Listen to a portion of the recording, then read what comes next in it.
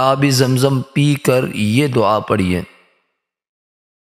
اللهم إني أسألك علما نافعا ورزقا واسعا وشفاء من كل داء۔